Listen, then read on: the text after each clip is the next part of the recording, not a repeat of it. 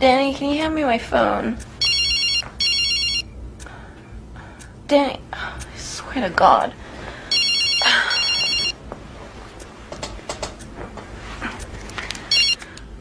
Hello? Hey, Rach, it's Danny. I'm sorry to wake you up, babe. I, uh, couldn't sleep, so I took a walk. But I locked myself out. I didn't take my keys. Could you come around and unlock the door?